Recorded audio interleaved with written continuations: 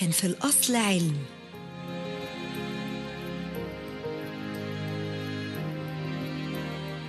حد في فترة شبابه في أحلى أيام عمره يوم عيد ميلاده وعامل لي أحلى عيد ميلاد وكل شوية يقول لي طب إيه وهعمل إيه هعمل لك أكبر مفاجأة وتكون المفاجأة إن هو يموت في حادثة في نفس اليوم. عندك 30 سنة أكيد مش هتواصلي فأنت إزاي؟ أكيد سحر هتتجوز. فيبقى الأولى بقى عم الولاد. يعني بأي حق برضو إن ده يبقى يبقى عادات. فأنا اخترت بقى اخترت اللي أنا أتعلم اخترت اللي أنا أدرس اخترت اللي أنا أقرأ. أنا كان صاحبي الكتاب. أنا بموت في البيت بس لما باجي شغلي بتدب فيا الروح. لما كنت بدخل فصل أو كنت بدخل قاعة تدريب. وأنا في البلد أنا عندي جوزي وعندي أرضي وعنده حاجته. بس ممنوع تاخد حقك. لما عيالك تكبر ويجوا ياخدوا حقهم. فأنت عندك ومش عندك. مرتب ومعاش. وبعدين ذهبي بقى حتة في حتة في حتة في حتة. خلص. ضحكتهم بالدنيا عندي. أول حاجة تفرحني إن أنا أشوف ضحكة ولادي. إن أنا أشوفهم مستريحين.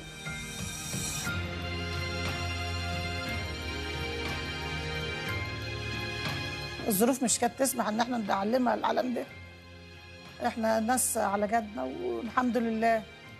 هي ما شاء الله عليها من صغرتها وهي متحمسة للعلام وبتجيب على الآخر ما معاها في في المذاكرة يعني. إن شاء الله احقق حلمي في التعليم واعود اللي أنا مش اتعلمته أعوده في بنتي.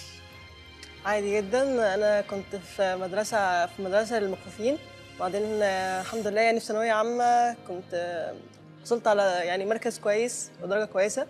وبعدين قدمت على ال scholarship اللي هي USAID scholarship حاليا أنا في ده second semester ليا في الجامعة يعني. فبرضه كان من ضمن الشروط ليها it's priority كانت لل للناس اللي هم المستفيدين من تكافل وكرامة وكده. يعني أنا بنوي دلوقتي إن شاء الله هيبقى معايا major إعلام أو journalism وهحاول آه، إن شاء الله أعمل minor في في ال marketing أو في ال business.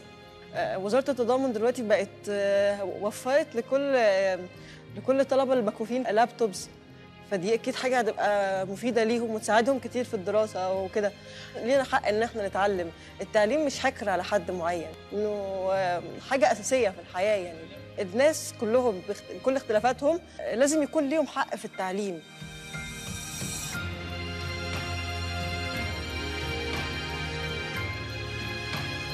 أنا مواليد 36 شهر ثلاثة يبقوا كام؟ 74 87 طيب شوفوا الواحد عايز يرجع ورا عشان يبقى جميل لكن ما فيش فايدة.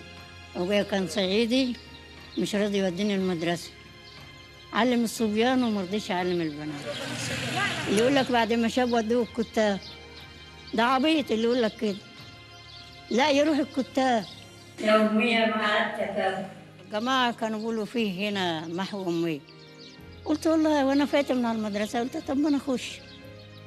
يمكن رجلي تيجي يعني. فرجلي جت. خشيت الفصول هنا. تبع تكافل وكرامة بعت على تختة زي دي قلت والله كان نفسي أقعد على تختة زي دي. يا سلام راكبة الفرس نادرا علي. أعلم عشرين مش عشر